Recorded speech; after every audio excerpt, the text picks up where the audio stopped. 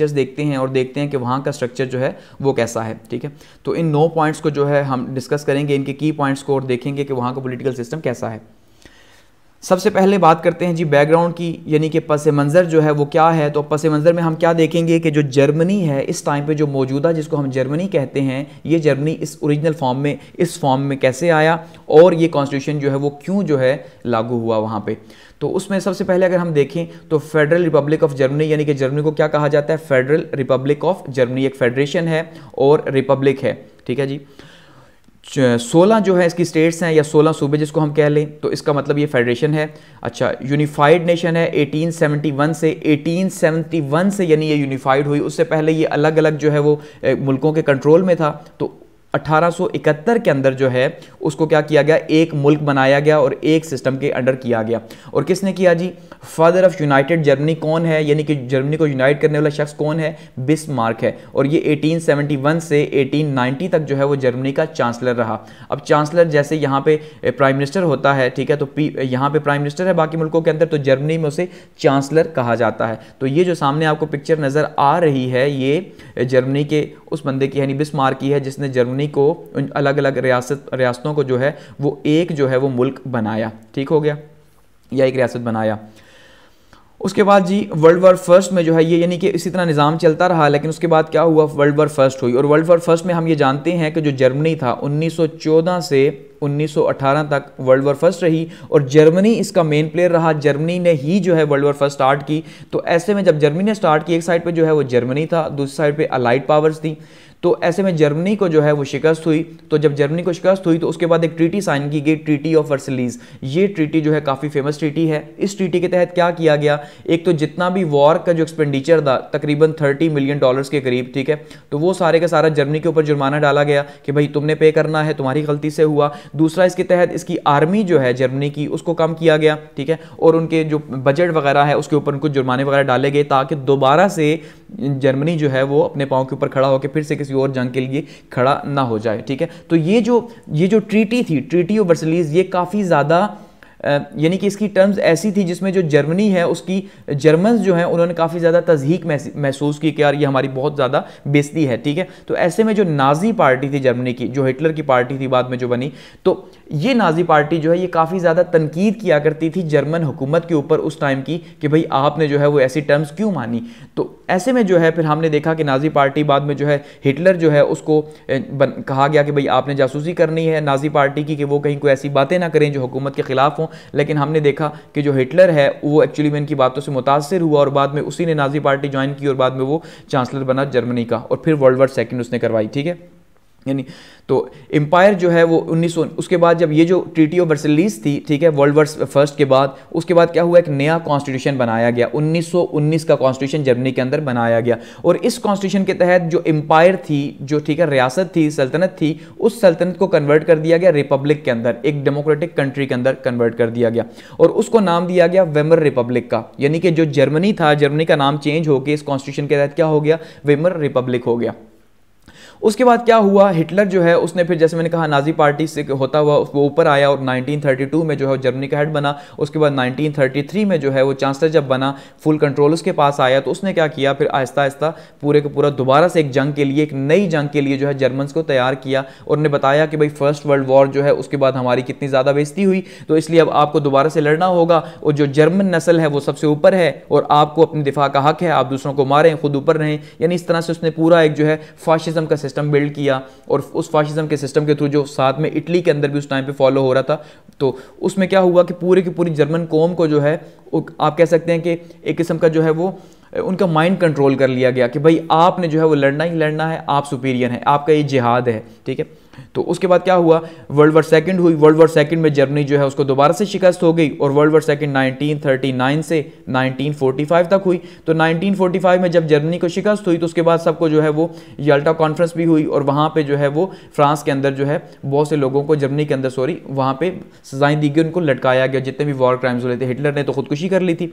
तो ये जो याल्टा कॉन्फ्रेंस थी नाइनटीन की, इसके तहत जो है क्या फैसला हुआ कि अब जर्मनी दोबारा से फिर थर्ड टाइम को ऐसी हरकत ना करे। तो जर्मनी को अलाइड जो पावर्स थी, उन्होंने चार हिस्सों में तकसीम कर लिया, अपने पास एक एक हिस्सा रख लिया, ठीक है? और ख़ास करके जो है वो ईस्ट जर्मनी जो है और वेस्ट जर्मनी जो है, उसको अलग कर दिया ईस्ट और वेस्ट को जुदा कर दिया, बाद में यहाँ पे फिर दीवार भी बना दी गई, ठीक है?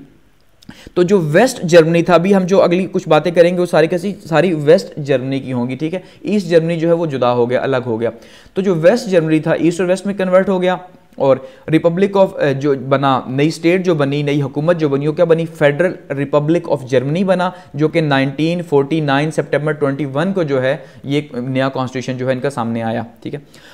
उसके बाद अब जब रीयूनिफिकेशन जो है वो कब हुई जी? उन्नीस सौ नवासी में 9 नवंबर उन्नीस सौ नवासी को रीयूनिफिकेशन हुई। यानी जो दीवार में, दीवार बनाई गई थी ईस्ट और वेस्ट जर्मनी के बीच में, ये अलग अलग मुल्क बने थे तो इसको हटा दिया गया और उन्नीस सौ नवासी में और दोबारा से जो जर्मनी है, वो एक मुल्क बन गया। यानी कि वेस्ट जर्मनी जो है वो ईस्ट जर्मनी के अंदर जम हो गया और वेस्ट जर्मनी या जर्मनी जो है वो इस तरह से सामने आया। तो अब जो फीचर्स हैं, यानी ये जो कॉन्स्टिट्यूशन बना उन्नीस सौ उनचास में तो इस उन्नीस सौ उनचास के तहत जो फीचर्स हैं कॉन्स्टिट्यूशन के, वो क्या थे? एक तो ये रिटर्न कॉन्स्टिट्यूशन था जो उन्नीस सौ में जो है बना। वेस्ट जर्मनी जो है इसमें लागू हुआ। 141 जो हैं, वो इसके आर्टिकल्स हैं और ये यूनिफिकेशन ट्रीटी 31 अगस्त 1990 को इसमें शामिल की गई। ठीक है? यानी कि अब जो ईस्ट जर्मनी था जब ज़ाहिर बात है वो शामिल हुआ तो साथ में किसी ट्रीटी कोई, कुछ तो सिस्टम हुआ होगा लीगल सिस्टम तो उसको वो जो यूनिफिकेशन ट्रीटी थी वो कब हुई? 1990 के अंदर, जो कि इस कॉन्स्टिट्यूशन के अंदर शामिल कर दी गई, ठीक है? डेमोक्रेटिक एंड सोशलिस्ट है इसके तहत, यानी कि जो उन्नीस सौ उनचास के तहत बना एक डेमोक्रेटिक मुल्क होगा, साथ में सोशलिस्ट होगा। अच्छा रिपब्लिक बना, यानी अवाम की वहाँ पे जो है वो राय होगी, वोट, वोटिंग सिस्टम होगा। बाई कैमरल लेजिस्लेशन बनी, पार्लियामेंट्री सिस्टम जैसे है। अच्छा बॉन्ड स्टैक नेशनल असम्बली कहा जाता है वहाँ पे, ठीक है? और बॉन्ड स्टार्ट जो है, फेडरल काउंसिल्स को कहा जाता है। यानी कि एक बॉन्ड स्टैग है और दूसरा बॉन्ड स्टार्ट है यहाँ पे। अच्छा हाई कोर्ट है हाई कोर्ट मतलब जैसे हम कहते हैं जी सुप्रीम कोर्ट तो वहाँ पे हाई कोर्ट है। इसी तरह से फेडरल नेचर है 16 स्टेट्स हैं तो इस वजह से फेडरल नेचर है पार्लियामेंट्री है, और फंडामेंटल राइट्स जो है मौजूद है इसके अंदर, और अमेंडमेंट जो है वो या तरमीम टू थर्ड जो है वो मेजोरिटी के साथ तरमीम इस कॉन्स्टिट्यूशन के अंदर की जा सकती है, ठीक है? आगे बढ़ते हैं और बात करते हैं लेजिस्लेटर की कि भाई जो मुकन्ना है, ठीक है, वो जो है वो जर्मनी के अंदर उसका क्या सिस्टम है? तो जैसे मैंने कहा कि भाई वहाँ पे पार्लियामेंट है और उसके टू हाउसेज हैं, ठीक है अपर हाउस और लोअर हाउस ठीक है, नाम चेंज है उनके। जो द अपर हाउस जो हाउस है द हाउस ऑफ़ रिप्रेजेंटेटिव जो लोअर हाउस है, उसको कहा जाता है जी बॉन्स टैग ठीक है, जिसमें पाँच सौ अठानवे जो है मेंबर्स हैं, ठीक है। पाँच सौ अठानवे मेंबर्स हैं और ये बॉन्स टैग है और दूसरा है अपर हाउस यानी बॉन्स स्टार्ट और इसके 58 मेंबर्स हैं। अब अगर हम बात करें जी लोअर हाउस की, यानी कि बॉन्स टैग की बात करें बॉन्स टैग की तो इसकी कंपोजिशन में सबसे पहले यहाँ पे डायरेक्ट इलेक्शंस होते हैं, यानी जितने लोग भी हैं, ये कौमी असम्बली है तो कौमी असम्बली में जितने लोग भी हैं, वो डायरेक्ट इलेक्शंस के थ्रू इलेक्ट होकर आएँगे। चार साल की इनकी टर्म होगी और कुलेयन गवर्नमेंट है। क्योंकि पार्टी ज़्यादा हैं तो पार्टी ज़्यादा होने की वजह से फिर क्या है कि कुछ पार्टी कोई भी एक पार्टी जो है वो एब्सोलूट मेजॉरिटी हासिल नहीं कर सकती। तो ऐसे में फिर क्या है, एक मखलूत हुकूमत जो है बनती है कि पचास यहाँ से तीस, यहाँ से दस, यहाँ से जैसे अभी पाकिस्तान के अंदर गवर्नमेंट बनी हुई है। ठीक है? और फेडरेशन में हमेशा से याद रखिएगा कि एक ऐसी गवर्नमेंट बनती है जो कुलियन हो, क्योंकि वहाँ पर फिर और और तरह की जो है रिप्रेजेंटेशन रेसिज्म मौजूद होता है। अच्छा और वहाँ पे प्राइम मिनिस्टर जो है उसको चांसलर कहा जाता है, और चांसलर का निज़ाम है तो उसका मतलब जो सारे के सारे पावर जो है, वो चांसलर के पास है। अगर पावर फ़ंक्शंस की बात की जाए, ठीक है, यानी कि बॉन्स टैग जो है, इसके पावर फ़ंक्शन क्या है तो लॉ मेकिंग है, कानून बनाता है ये, कौमी असम्बली कानून बनाती है अपॉइंटमेंट्स करती है स्टैंडिंग कमेटी की, ठीक है, और एग्जेक्टिव फ़ंक्शंस की अगर बात करें तो एग्जेक्टिव फ़ंक्शंस भी इसके पास है, क्योंकि कैबिनेट जब ये बनाता है तो इसका मतलब ये है कि कैबिनेट वजारतें रन करती है तो वजारतें एग्जेक्टिव या एडमिनिस्ट्रेटिव फ़ंक्शन के अंदर आता है अच्छा। इलेक्टिंग चांसलर जो है चांसलर को इलेक्ट करता है इसके अलावा ये जो नहीं बॉन्स टैग है जिस भी पार्टी का जो ज़्यादा वोट होंगे तो ऑब्वियसली फिर वो क्या करेंगे जी वो अपना चांसलर या वजी इलेक्ट करवाएँगे। उसके अलावा जी चेक ऑन एग्जेक्टिव जो एग्जेक्टिव है सरबरा जो है उसके ऊपर चेक है इन्वेस्टिगेशन करवा सकते हैं किसी इदारे की किसी भी इदारे को बुला सकते हैं कि भाई आप आगे यहाँ पर जवाब दें अपनी मिनिस्ट्री के हवाले से ठीक है जैसे पाकिस्तान के अंदर होता है। इन्वेस्टिगेशन पावर्स वहाँ पे मौजूद हैं तो इस, इसका मतलब इन्वेस्टिगेशन पावर्स भी जो है ये एग्जेक्टिव फ़ंक्शंस के अंदर ही आती हैं। अब बात करते हैं अपर हाउस की। तो अपर हाउस जो है, अपर हाउस क्या है जी? बॉन स्टार्ट जिसको कहा गया और 58 मेंबर्स हैं जिसके। तो अब यहाँ पे आपने थोड़ा सा समझना है, इनका जो अपर हाउस है, उसका थोड़ा सा सिस्टम थोड़ा चेंज है, ठीक है? अब यूके और फ्रांस से चेंज है। 16 स्टेट्स हैं तो 16 स्टेट्स के ये रिप्रेजेंटेशन होती है यहाँ पे जिनको लैंडर कहा जाता है। यानी कि स्टेट्स को वहाँ पे क्या कहा जाता है? लैंडर ठीक हो गया। और फेडरेशन सिस्टम है और डेलीगेटेड मेंबर्स होते हैं। अब डेलीगेटेड मेंबर्स का मतलब क्या है? ये समझना है। अब जैसे हमने कहा कि जो कौमी असम्बली है, यानी जो नेशनल असम्बली है, वहाँ पे क्या होता है जी? डायरेक्ट इलेक्शंस के थ्रू वो इलेक्ट होकर आते हैं। तो सेनेट में भी नॉर्मली क्या होता है? सेनेट में भी इलेक्ट होकर आना पड़ता है। जैसे पाकिस्तान की सेनेट या यूके की सेनेट तो यूके की तो खैर दूसरा, या अमेरिका की सेनेट लेकिन वहाँ पर क्या है कि वहाँ पे सेनेट में इलेक्ट होकर नहीं आएँगे, बल्कि जो ये जो 16 स्टेट की गवर्नमेंट्स हैं सोलह यहाँ पे इनके जो सूबे मौजूद हैं, वो सूबे अपने अपने नुमाइंदे जो है, वो सेनेट के अंदर भेजेंगे। तो वो इलेक्शंस के थ्रू नहीं आएँगे, बल्कि वहाँ के जो नुमाइंदे हैं, उनको यहाँ पे भेजा जाएगा। इस वजह से वो डेलीगेटेड मेंबर्स होते हैं, ठीक है? ताकि यूनिटी जो है, वो बरकरार रहे। तो अब अगर पावर फ़ंक्शंस की बात की जाए तो सबसे पहले लेजिस्लेटिव पावर है, यानी कि कानून बनाता है। बिल फ़र्स्ट प्रेजेंट जो पहले जो बिल है, अब यहाँ पे इसको भी थोड़ा सा आपने समझना है कि नॉर्मली क्या होता है कि कोई भी अगर बिल है तो वो बिल कहाँ जाएगा? वो बिल जाएगा लोअर हाउस के अंदर। लोअर हाउस में जाएगा, वहाँ से जो है वो जाएगा अपर हाउस के अंदर। और अपर हाउस से जाने के बाद फिर प्राइम मिनिस्टर प्रेसिडेंट के पास जाएगा और वहाँ से फिर वो जो है वो लॉ बनेगा। लेकिन जो जर्मनी है, वहाँ पे क्या होगा? सबसे पहले अपर हाउस के अंदर जो है वो बिल आएगा। अपर हाउस में क्यों आएगा? क्योंकि अपर हाउस में हमने ये बात कर दी कि वहाँ पे 16 जो उनके सूबे हैं, उनके रिप्रेजेंटेटिव मौजूद हैं। तो कोई भी लॉ जो मुल्क के अंदर लागू करना है या जिसे पास करवाना है, पहले ये सूबे से जो है वो क्वालिफाई करेंगे कि भाई इनसे पूछा जाएगा कि क्या आपको एतराज़ तो नहीं ये जो बिल पास हो रहा है? फिर जब ये उसे यस करेंगे तो उसके बाद जो है उसे लोअर हाउस के अंदर भेजा जाएगा और फिर लोअर हाउस जो है, उसके ऊपर कानून साजी करेगा। ठीक है? इस वजह से फ़र्स्ट यहाँ पे प्रेजेंट किया जाता है। फिर ज्वाइंट कमेटी होती है। ज्वाइंट कमेटी यानी कि अपर हाउस की और लोअर हाउस की और वन थर्ड जो है, उस मेंबर होते हैं। यानी वन थर्ड जो है, वो लोअर हाउस के वन थर्ड जो है, वो अपर हाउस के। तो इस तरह से ज्वाइंट कमेटी है जो कि दोनों मामला को हैंडल करती है। बात करते हैं प्रेसिडेंट की। तो प्रेसिडेंट अगर बात करें तो प्रेसिडेंट क्योंकि अब जैसे मैंने कहा कि चांसलर का निज़ाम है तो इसका मतलब जो चांसलर हैं, उनके पास पावर है तो प्रेसिडेंट जो है वो सेरेमोनियल हेड हो गए। अपॉइंटमेंट जो है प्रेसिडेंट क्या करता है जी? अब अपॉइंटमेंट कैसे होती है? सीक्रेट बैलेट के थ्रू होती है प्रेसिडेंट साहब की और इसके अलावा जी इलेक्टोरल जो कॉलेज है, उसके थ्रू होती है। स्टेट और सेंटर जो है, उसके लिए होता है। यानी कि क्योंकि ऐसा होगा, जो सेंटर स्टेट दोनों को लेकर चल रहा है और कम से कम उसकी एज जो है, वो 40 साल ज़रूर होनी चाहिए, इससे कम ना हो। जैसे पाकिस्तान के अंदर 45 ईयर्स है। अच्छा और टर्म जो है, वो फाइव ईयर्स की होनी चाहिए। पाँच साल की टर्म है उनके प्रेसिडेंट की। अब पावर और फ़ंक्शंस की बात की जाए तो हेड ऑफ़ द स्टेट है सबसे पहली बात। और दूसरा अपॉइंटमेंट ऑफ़ गवर्नमेंट है, गवर्नमेंट की जितनी अपॉइंटमेंट्स है वो प्रेसिडेंट करता है, लेकिन चांसलर की एडवाइस के ऊपर। अच्छा चांसलर एंड कैबिनेट, जैसे कि चांसलर की अपॉइंटमेंट कौन करेगा? सदर साहब करेंगे। कैबिनेट की अपॉइंटमेंट कौन करेगा? सदर साहब करेंगे। लेकिन किसके ऊपर? एडवाइस के ऊपर चांसलर की, ठीक है? अच्छा पहले चांसलर को अपॉइंट करेगा, फिर चांसलर जो है वो बताएगा तो कैबिनेट का तो फिर एडवाइस करेगा तो फिर कैबिनेट को अपॉइंट किया जाएगा।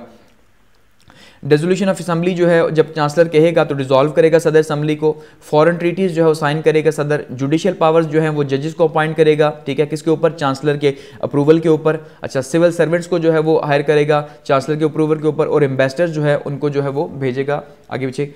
तो यानी उनको हायर किया जाएगा। किसके ऊपर जी? चांसलर के कहने के ऊपर। खुद से नहीं। अब चांसलर की अगर बात की जाए तो क्योंकि वहाँ पे सिस्टम ही चांसलर का है तो इसका मतलब है एब्सोलूट जो पावर है, वो किसके पास है? वो चांसलर साहब के पास मौजूद है। तो चांसलर जो है वहाँ पे पावर को इंजॉय करता है। तो चांसलर क्या होगा जी? मेंबर ऑफ़ बाउंस टैग होगा, यानी कि जो लोअर हाउस है लोअर हाउस का मेंबर होगा। सबसे पहली बात यह है चीफ एग्जेक्टिव होगा। चीफ एग्जेक्टिव क्योंकि सारा निज़ाम जब चला रहा ये है तो सरबराह इसका मतलब क्या है? सरबराह कौन है? वो चांसलर है पूरे के पूरे मुल्क का। अच्छा पावर और फ़ंक्शंस की अगर बात की जाए कि पावर क्या है फ़ंक्शंस क्या है तो एग्जेक्टिव फ़ंक्शंस है। सबसे पहले तो सरबराह है तो इसका मतलब पूरा मुल्क जो है उसको चलाना या उसके इदारों को जो है वो चलाना वो किसका काम है? वो चा, चांसलर साहब का काम है। एडमिनिस्ट्रेटिव हेड है हर पूरे के पूरे मुल्क का एडमिनिस्ट्रेटिव हेड है। लेजिस्लेटिव पावर्स हैं उसके पास चांसलर जो है वो कानून बनाएगा क्योंकि पहले तो उसी की मर्ज़ी होगी। उसके बाद असम्बली में पेश किया जाएगा। अपॉइंटमेंट्स ऑफ़ मिनिस्टर जो है मिनिस्टर्स को जो है वो अपॉइंट करेगा। कौन जी? चांसलर साहब। आगे बढ़ते हैं और बात करते हैं द फेडरल कॉन्स्टिट्यूशनल कोर्ट की, कि फेडरल कॉन्स्टिट्यूशनल कोर्ट या जिसको हम सुप्रीम कोर्ट कहते हैं पाकिस्तान के अंदर, वो वहाँ पे कैसा है? तो फेडरल कॉन्स्टिट्यूशन कोर्ट के अंदर 16 जजेस होंगे। और जो 16 जजेस हैं, ये आठ आठ की रेशो से होंगे। यानी कि आठ जो जजेस हैं, वो लोअर हाउस के होंगे और आठ जो हैं, वो सेनेट के होंगे। तो इस तरह से ये 16 जजेस होंगे और टू थर्ड वोट्स जिस जज को रिसीव होगा, वो जज बनेगा। यानी असम्बली के अंदर जब वोटिंग होगी जज के लिए तो टू थर्ड मेजोरिटी लेना ज़रूरी है जज के लिए। अच्छा टू पैनल्स होंगे। टू पैनल्स में जी बिल ऑफ़ राइट्स है, ठीक है? और दूसरा जी अमंग स्टेट्स है। कि बिल ऑफ़ राइट्स में एक में होगा, दूसरा स्टेट्स के बीच में होगा टू पैनल्स का जो होगा। उसके बाद पावर एंड फ़ंक्शन की अगर बात की जाए कि इनकी पावर और फ़ंक्शन क्या है, यानी कि जो फेडरल कॉन्स्टिट्यूशन कोर्ट के तो उसमें इंटरप्रिटेशन ऑफ़ कॉन्स्टिट्यूशन है कि कॉन्स्टिट्यूशन जो है, आइन जो है, उसकी इंटरप्रिटेशन करेगा। फेडरल एंड स्टेट लॉज जो हैं, उनके बीच में फैसला करेगा या उनकी जो है इंटरप्रिटेशन होगी। इसी तरह से अगर कोई इशू पैदा हो जाता है फेडरेशन के बीच में या स्टेट्स के बीच में तो उसका जो केस जाएगा, वो कहाँ पे जाएगा? फेडरल कॉन्स्टिट्यूशन कोर्ट के अंदर जाएगा और वो उस इशू को देखेगा। बात करते हैं पॉलिटिकल पार्टीज़ की तो जर्मनी के अंदर मल्टी पार्टी सिस्टम है। जैसे फ्रांस में हमने देखा था कि वहाँ पे भी जो है वो मल्टी पार्टी सिस्टम है तो जर्मनी के अंदर भी जो है मल्टी पार्टी सिस्टम है, ठीक है? बहुत ज़्यादा पार्टीज़ है वहाँ पे भी। तो उनमें जो बड़ी बड़ी पार्टीज़ है, उसमें सोशल डेमोक्रेटिक पार्टी है एसपीडी जिसको कहा जाता है क्रिश्चियन डेमोक्रेटिक पार्टी है सीडीयू ग्रीन पार्टी है, और पार्टी ऑफ़ डेमोक्रेटिक सोशलिज्म ये जो बड़ी बड़ी पार्टीज़ हैं, और इसके अलावा जो छोटी छोटी पार्टीज़ मौजूद हैं। पॉलिटिकल अलाइसेंस यहाँ पे होते हैं, क्योंकि अब जब बनती है गवर्नमेंट जो है तो वो गवर्नमेंट कुलियन में होती है तो पॉलिटिकल अलाइसेंस वहाँ पे पहले से बनते हैं, ठीक है? और रोल ऑफ़ मनी तो हम जानते हैं कि पूरी दुनिया के अंदर ही मौजूद है पॉलिटिकल पार्टीज़ के अंदर या पॉलिटिकल सिस्टम के अंदर। तो ये कुछ पार्टीज़ आपको यहाँ पे सामने दिखाई दे रही हैं तो ये पोलिटिकल पार्टीज़ हैं, ठीक है? कुछ पोलिटिकल पार्टीज़ हैं। तो यहाँ पर जो है, वो जर्मनी के पोलिटिकल सिस्टम को भी एंड करते हैं। तो ये हमारे पास